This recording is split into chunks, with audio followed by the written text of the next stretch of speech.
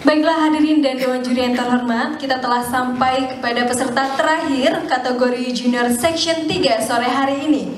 Langsung saja kita panggil peserta dengan nomor undian 6. Ini dia Aragorn Putra Eriawan.